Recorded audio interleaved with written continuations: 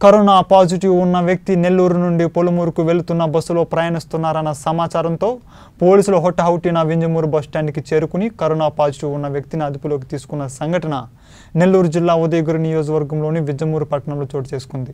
SI Bajireddy మాట్లాడుతూ వింజమూరుకు చెందిన వ్యక్తి రాజస్థాన్ నుండి విజయవాడ చేరుకున్నాడని అక్కడ ఆ వ్యక్తిని అదుపులోకి తీసుకుని నెల్లూరులోని నారాయణ హాస్పిటల్ క్వారంటైన్కి తరలించి కరోనా టెస్టులు చేయడం జరిగిందన్నారు. ఆ వ్యక్తి ఈరోజు నెల్లూరు నుండి పామూరుకు బయలుదేరు బస్సులో ప్రయాణిస్తున్నాడని అధికారులు వింజమూరు ఎస్ఐ ఏ బాజిరెడ్డికి సమాచారం అందించడంతో ఆ వ్యక్తిని బస్టాండ్ ఆవర్లోనే అదుపులోకి తీసుకోవడం జరిగిందని ఆయన తెలిపారు. అనంతరం ఆ వ్యక్తిని తిరిగి క్వారంటైన్కి తరలించినట్లు తెలిపారు. అయితే కరోనా పాజిటివ్ ఉన్న వ్యక్తిని క్వారంటైన్ నుండి ఎలా పంపించారని వింజమూరు పట్టణ ప్రజలు ఆగ్రహం వ్యక్తం చేస్తున్నారు. ఇరవై ఎనిమిదో తేదీన గుజరాత్ రాష్ట్రం నుంచి వింజమూరుకు చెందిన ఒక వ్యక్తి శ్రామిక్ ట్రైన్లో విజయవాడకు రావడం జరిగింది.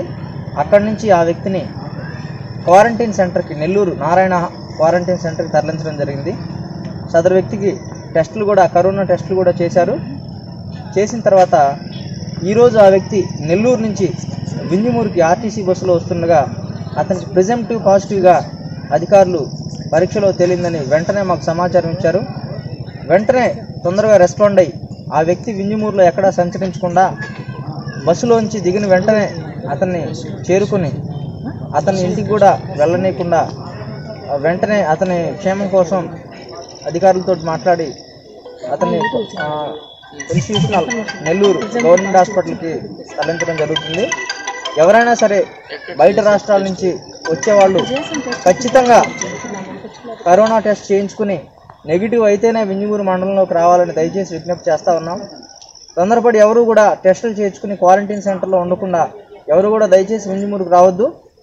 ఖచ్చితంగా నెగిటివ్ రిపోర్ట్ వస్తేనే వాళ్ళు వింజమూరులోకి రావాలని పదే పదే విజ్ఞప్తి చేస్తూ ఉన్నాం.